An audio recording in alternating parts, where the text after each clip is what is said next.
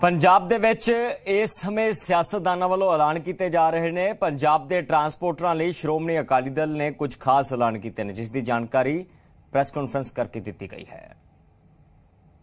ਜਿੱਥੇ ਸੂਬਾ ਸਰਕਾਰ ਨੇ ਪੰਜਾਬ ਰੋਡਵੇਜ਼ ਨੂੰ ਵੱਡੀ ਸੌਗਾਤ ਦਿੰਦਿਆਂ 58 ਬੱਸਾਂ ਦਿੱਤੀਆਂ ਨੇ ਤੇ ਪੰਜਾਬ ਦੇ ਅੰਮ੍ਰਿਤਸਰ ਵਿੱਚ ਸ਼੍ਰੋਮਣੀ ਅਕਾਲੀ ਦਲ ਦੇ ਪ੍ਰਧਾਨ ਸੁਖਬੀਰ ਸਿੰਘ ਬਾਦਲ ਨੇ ਜਨਤਾ ਨੂੰ ਭਰਮਾਉਣ ਲਈ ਵਾਅਦੇ ਕੀਤੇ ਹਨ।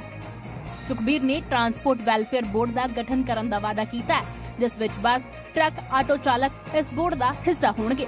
ਸ਼੍ਰੋਮਣੀ ਅਕਾਲੀ ਦਲ ਸਰਕਾਰ ਆਉਣ ਤੇ ਟਰੱਕ ਯੂਨੀਅਨ ਬਹਾਲ ਕੀਤੀ ਜਾਣਗੀਆਂ ਪਰ ਹਰ ਐਸਡੀਐਮ ਥੱਲੇ ਐਸਡੀਐਮ ਥੱਲੇ ਇੱਕ ਕਮੇਟੀ ਬਣਾਈ ਜਾਊਗੀ, ਜਿਹਦੇ ਵਿੱਚ ਟਰੱਕ ਯੂਨੀਅਨ ਦੇ ਰਿਪਰੈਜ਼ੈਂਟੇਟਿਵ ਤੇ ਵਪਾਰੀਆਂ ਦੇ ਰਿਪਰੈਜ਼ੈਂਟੇਟਿਵ ਹੋਣਗੇ। ਜੋ ਫੈਸਲੇ, ਜੋ ਰੇਟ ਪਰ ਕਿਲੋਮੀਟਰ ਸੈੱਟ ਹੋਣਗੇ। ਐਸਡੀਐਮ ਦੀ ਕਮੇਟੀ ਥੱਲੇ ਹੋਊਗਾ। ਇਹ ਗਠਨ ਕੀਤੀ ਕਮੇਟੀ ਪੰਜਾਬ 'ਚ ਨਿਯਮ ਬਣਾਉਣ ਦਾ ਕੰਮ ਕਰੇਗੀ। ਇਸ ਤੋਂ ਇਲਾਵਾ ਇੱਕ ਕਮੇਟੀ ਐਸਡੀਐਮ ਦੇ ਹੇਠਾਂ ਵੀ ਬਣੇਗੀ। ਇਹ ਕਮੇਟੀ ਰੇਟ ਤੈਅ ਕਰਨ ਤੋਂ ਲੈ ਮੁਸ਼ਕਲਾਂ ਨੂੰ ਹੱਲ ਕਰਨ ਦਾ ਕੰਮ ਕਰੇਗੀ। ਸੜਕ ਉੱਤੇ ਚੱਲਣ ਵਾਲੇ ਟਰੱਕਾਂ ਅਤੇ ਬੱਸਾਂ ਦੇ ਕਾਗਜ਼ ਸਾਲ ਵਿੱਚ ਇੱਕ ਵਾਰ ਚੈੱਕ ਹੋਣਗੇ। ਉਹਨਾਂ ਨੂੰ ਇੱਕ ਸਟicker ਦਿੱਤਾ ਜਾਵੇਗਾ, ਜਿਸ ਦੇ ਬਾਅਦ ਬੱਸਾਂ ਅਤੇ ਟਰੱਕ ਚਾਲਕਾਂ ਨੂੰ ਕਾਗਜ਼ਾਂ ਦੇ ਲਈ ਪਰੇਸ਼ਾਨ ਨਹੀਂ ਹੋਣਾ ਪਵੇਗਾ। ਪੁਰਾਣੇ ਟੈਕਸ ਲਈ ਇੱਕੋ ਸੈਟਲਮੈਂਟ ਸਕੀਮ ਲਿਆਈ ਜਾਵੇਗੀ। ਇਸ ਤੋਂ ਇਲਾਵਾ ਹੈਵੀ ਵਾਹੀਕਲ ਡਰਾਈਵਿੰਗ ਲਾਇਸੈਂਸ ਲਈ ਹਰ ਜ਼ਿਲ੍ਹੇ ਦੇ ਵਿੱਚ ਇੱਕ ਸੈਂਟਰ ਬਣਾਇਆ ਜਾਵੇਗਾ। ਹੁਣ ਤੱਕ ਹੈਵੀ ਵਾਹੀਕਲ ਲਾਇਸੈਂਸ ਲਈ ਪੂਰੇ ਪੰਜਾਬ ਨੂੰ ਲੰਬੀ ਜਾਣਾ ਪੈਂਦਾ ਸੀ। ਤੇ ਨਾਲ ਹੀ ਸੁਖਬੀਰ ਸਿੰਘ ਬਾਦਲ ਨੇ ਐਲਾਨ ਕੀਤਾ ਕਿ ਸਰਕਾਰ ਬਣਨ ਤੇ ਟਰੱਕ ਯੂਨੀਅਨਾਂ ਵੀ ਬਹਾਲ ਹੋਣਗੀਆਂ। ਸੁਖਬੀਰ ਨੇ ਕਿਹਾ ਕਿ ਜੇਕਰ ਪੰਜਾਬ ਵਿੱਚ ਅਕਾਲੀ ਦਲ ਦੀ ਸਰਕਾਰ ਆਉਂਦੀ ਹੈ, ਤਾਂ ਆਟੋ ਰਿਕਸ਼ਾ ਨੂੰ ਵੀ ਈ ਰਿਕਸ਼ਾ ਦੇ ਵਿੱਚ ਕਨਵਰਟ ਕੀਤਾ ਜਾਵੇਗਾ ਤੇ ਨਾਲ ਹੀ ਨੌਜਵਾਨਾਂ ਨੂੰ ਲੋਨ ਦੇਣ ਦੀ ਸਹੂਲਤ ਵੀ ਦਿੱਤੀ ਜਾਵੇਗੀ।